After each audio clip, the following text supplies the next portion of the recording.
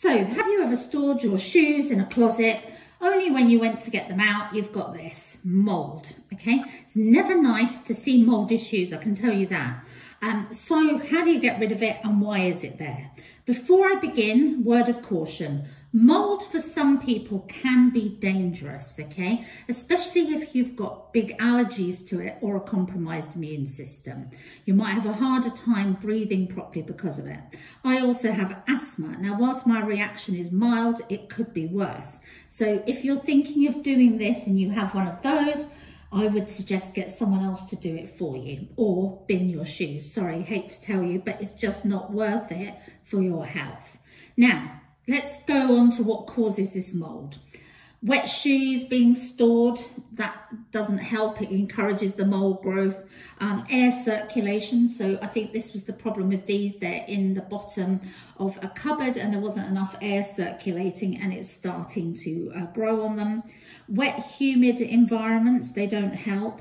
Um, storing your shoes on top of one another, not cleaning your shoes uh, before you actually, you know, store them away. All of these things create this mold growth.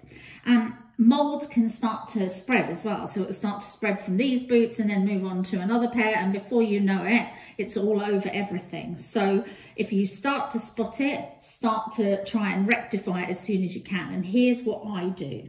So my number one favourite technique is to use rubbing alcohol to deal with mold growth. And this is a technique that I discovered not on shoes, but because one of my favourite leather sofas started to develop mould in my old house um, because it was left in a hot, humid environment after we had some plastering done.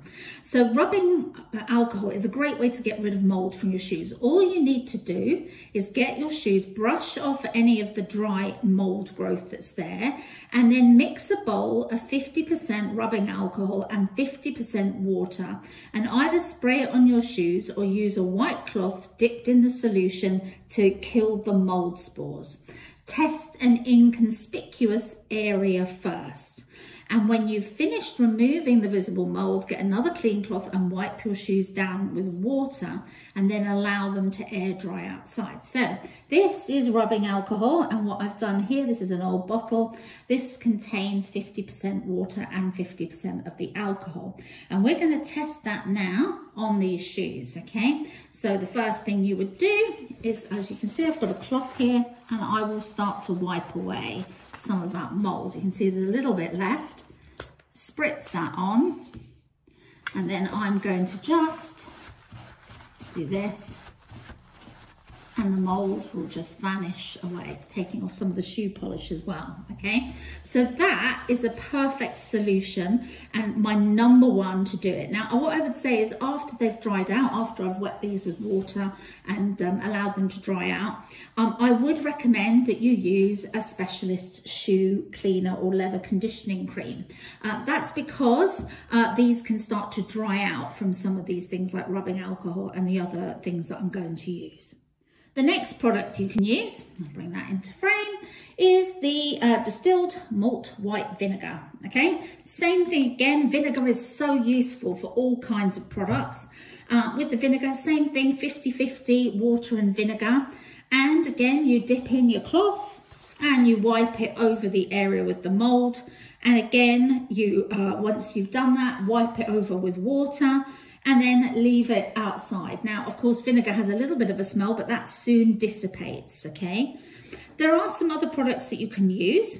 Uh, lemon juice. So again, I've got some lemon juice here. Lemon juice is a great product that you can sometimes use and it's a universal sort of cleaning product around the house.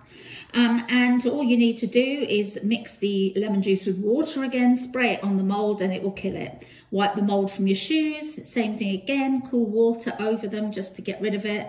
And then Bob's your uncle dry outside and you should be fine.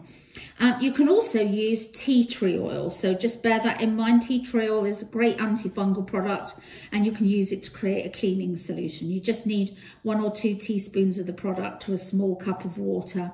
Place the mixture in a spray bottle again, shake the bottle and spray it onto your shoes. You can use a soft toothbrush, by the way, to scrub any mold in any awkward places because you can see on these, there's seams and stuff. So you might need a toothbrush just to get into every crevice.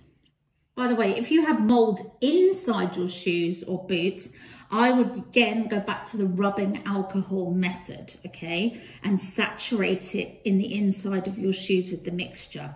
And then try and get a cloth, a wet damp cloth after it's done its work to try and remove any of the excess and then let it dry.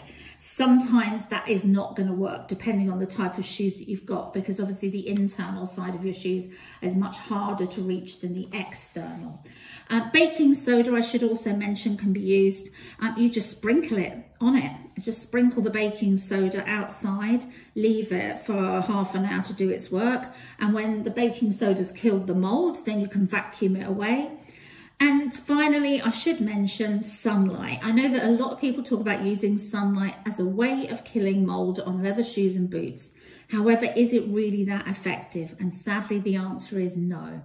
It does kill the visible mold, but it isn't going to remove the old mold and mildew from your shoes. So think about it. If you put something moldy outside in the uh, sunlight to kill the mold, the mold on the surface will be killed, but the stains will still be on your shoes. And what about the recesses? So if you have a mold problem on leather items, use the methods that I've mentioned, the lemon juice, the vinegar, the rubbing alcohol, and you'll get a much better result.